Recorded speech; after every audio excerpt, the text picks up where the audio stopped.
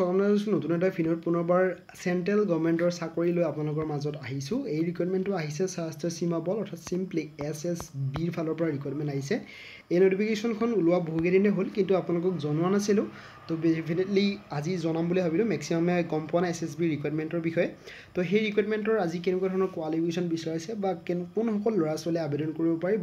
আৰু প্ৰথম কথা এই যিটো নেকি ৰিক্ৰুইটমেণ্ট আহিছে এছ এছ বিৰ ফালৰ পৰা ইয়াত মেল আৰু ফিমেল সকলোৱে এপ্লাই কৰিবলৈ হ'ব অৰ্থাৎ মেল আৰু ফিমেল সকলোৱে এপ্লাই কৰিব পাৰিব। আৰু ইয়াত যিটো নেকি মিনিমাম কোৱালিফিকেশ্যন মেট্ৰিক পাছৰ পৰা আৰম্ভ কৰি একদম গ্ৰেজুৱেশ্যন লেভেললৈকে আবেদন কৰাৰ প্ৰচেছ আছে।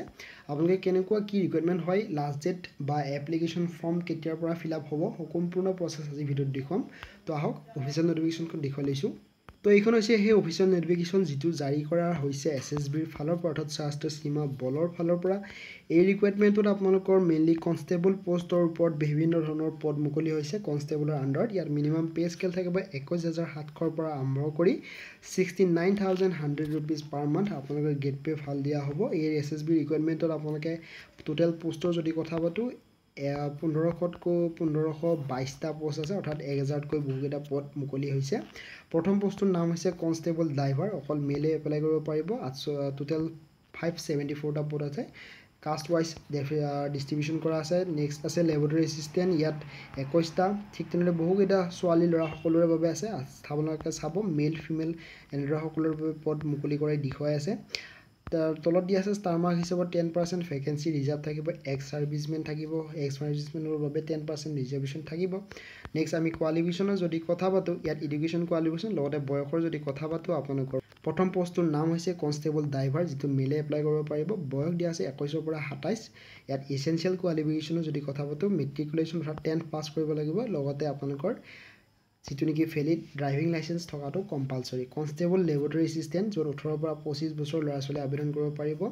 মেট্ৰিকুলেশ্যন বিচাৰিছে অৰ্থাৎ টেন্থ পাছ কৰিলে আপোনালোকে আবেদন কৰিব পাৰিব। ছায়েন্সৰ পৰা হ'ব লাগিব লগতে আপোনালোকৰ লেবৰেটৰী এছিষ্টেণ্ট কৰ্চৰ ডিপ্ল'মাৰ চাৰ্টিফিকেটখন থকা কম্পালচৰি কনষ্টেবল ভেটেনেৰী আছে ওঠৰৰ পৰা পঁচিছ বছৰ ল'ৰা ছোৱালীয়ে আবেদন কৰিব পাৰিব। ইচেঞ্চিয়েল কোৱালিফিকেশ্যনৰ যদি কথা পাতোঁ tenth or matriculation examination pass কৰিব লাগিব। ছায়েন্স এটা ছাবজেক্ট থাকিবলৈ মেইন ছাবজেক্ট আৰু ডিজাইৰেবল দিয়া আছে যদিহে আপোনালোকৰ ওৱান ইয়াৰ এক্সপিৰিয়েঞ্চ থাকে তেওঁলোকক প্ৰিফাৰেঞ্চটো বেছিকৈ দিয়া হ'ব।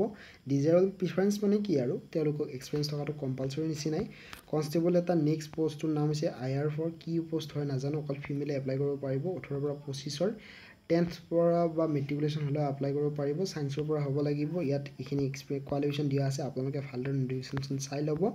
ইয়াত last date of the receive application form online এপ্লিকেশ্যনৰ যিটো লাষ্ট ডেট সেইটো যদি কথা পাতোঁ ইয়াত লাষ্ট ডেট বিভিন্ন ধৰণৰ থাকিব পাৰে। ইয়াত কোৱা হৈছে যে এপ্লিকেশ্যন ফৰ্মখন অৰ্থাৎ এডভাৰটাইজমেণ্টখন পাব্লিছ কৰাৰ ত্ৰিছ দিনৰ পিছত ইয়াৰ লাষ্ট ডেট থাকিব। ডাইৰেক্টলি দিয়া নাই লগতে ৰিম'ট এৰিয়া যেনেধৰণৰ আছাম মেঘালয় অৰুণাচল মেইনলি যিখিনি নৰ্থ ইষ্টৰ ষ্টেট আছে তেওঁলোকৰ বাবে থাৰ্টি ছেভেন ডেজ অৰ্থাৎ এডভাৰটাইজমেণ্টখন পাব্লিছ কৰাৰ পৰা সাতত্ৰিছ দিনৰ ভিতৰত তেওঁলোকে আবেদন কৰিব পাৰিব। এক্সাম ফিজ অৰ্থাৎ এপ্লিকেশ্যন ফিজৰ যদি কথা পাতোঁ ইয়াত হাণ্ড্ৰেড ৰুপিজ পে' কৰিব লাগিব যিখিনি নেকি ই ডাব্লিউ এছ আনৰিজাৰ্ভ অৰ্থাৎ জেনেৰেল অ' বি চি ল'ৰা ছোৱালী থাকে।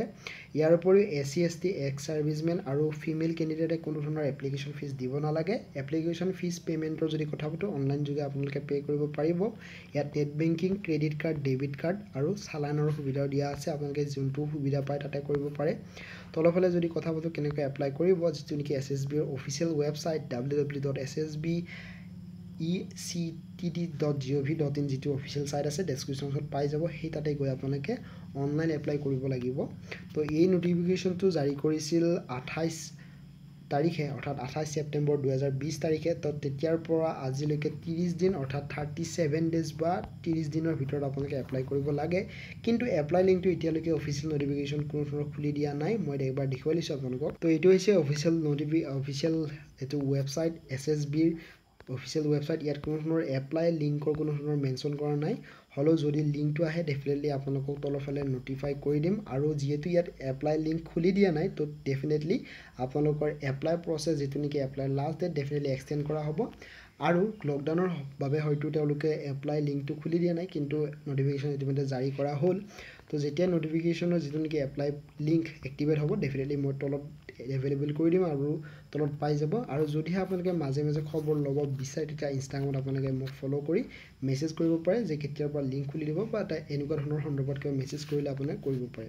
ভিডিঅ'ত লাইক কমেণ্ট আৰু শ্বেয়াৰ কৰিবলৈ নাপাহৰিব যাতে সকলোৱে এই এছ এছ বিৰ ফালৰ পৰা ওলোৱা পোন্ধৰশ বাইছটা পদৰ বিষয়ে সকলোৱে গম পায়। ধন্যবাদ। আৰু লগতে এই মেল ফিমেল সকলো ল'ৰা ছোৱালীয়ে আবেদন কৰিব পাৰিব। সম্পূৰ্ণ সুবিধা অসমৰ বাবেও আছে। ধন্যবাদ।